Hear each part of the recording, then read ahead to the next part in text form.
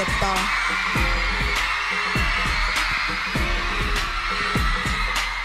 누나 너무 예뻐서 남자들이 가만한 거 흔들리는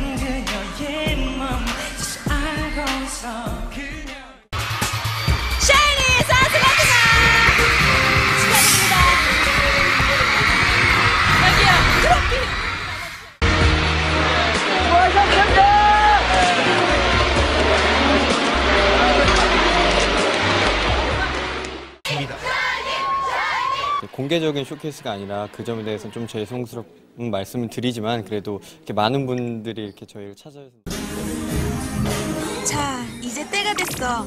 우리 연하남들에게 깜짝 뉴스를 공개하는 날.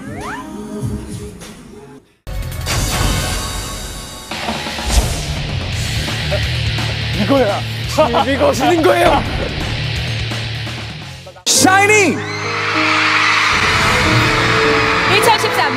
뮤직 어워드 세계 대상중 아티스트상 수상자는 네, 인도네시아 여러분들의 열기를 저희가 정말 힘내서 무대를 하고 있습니다.